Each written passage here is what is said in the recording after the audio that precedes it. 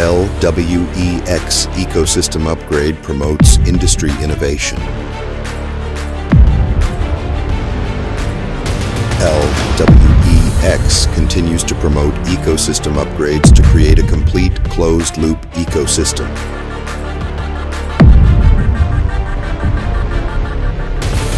Through the integration of self-developed cold wallets and fiat currency wallets,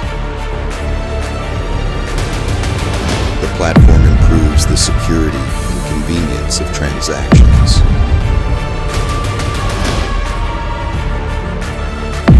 At the same time, the expansion of the P2P trading market allows the platform to provide users with a wider range of trading options.